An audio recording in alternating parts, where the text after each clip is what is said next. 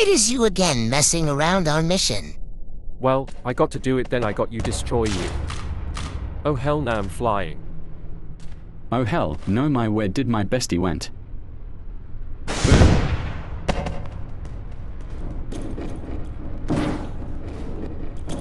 What the hell?